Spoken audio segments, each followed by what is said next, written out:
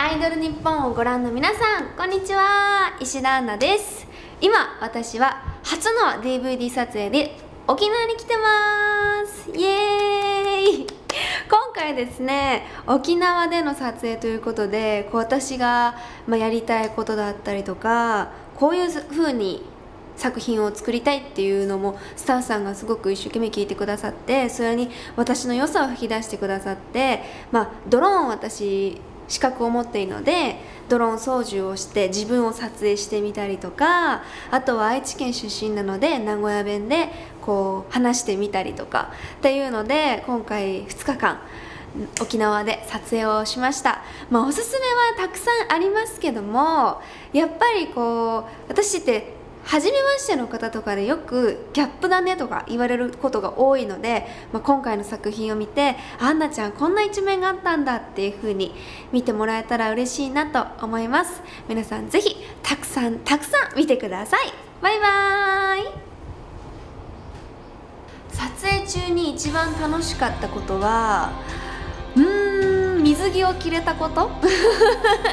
こうやっぱりプライベートでも水着を着てどっかに行くっていうことって本当あまりなくてでも実際ちょっと見てほしいんですけど実際にあったちょっとおちゃらけというかドジなエピソードがそのまま今回の作品にも入ってるのでぜひ注目です。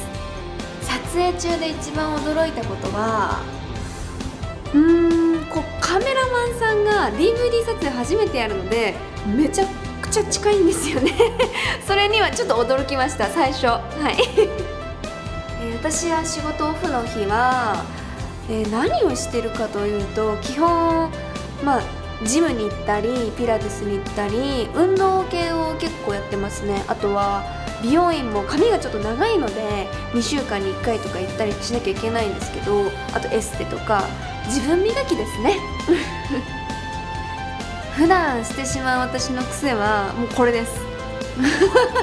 髪が長い分こう前に来るんでもうこうやってやっちゃいます。絶対。あとは爪見ちゃう。自分の爪ネイルが好きなのであやっぱこのネイルかわいいなみたいな。気に入ったネイルがあると見ちゃいます。これは DVD 撮影用に変えたネイルです。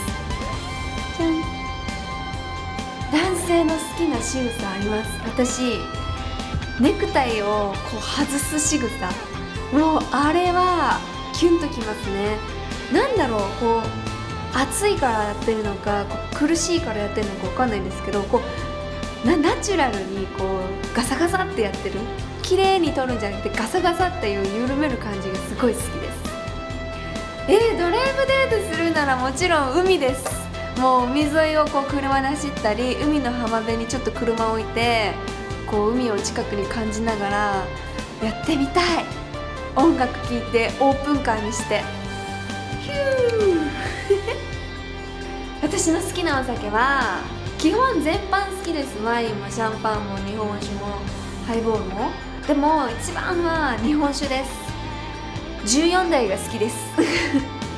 結構お家でも飲んじゃうんですけどでも酔うと結構私変わらないって言われますね。変わらないんだけどさらにおしゃべりになってずっと喋ってます。あと初めましての時も普通に絡んじゃったりとかあります。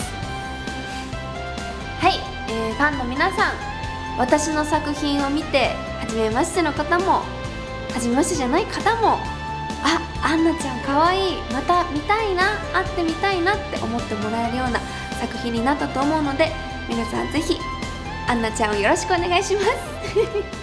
またね。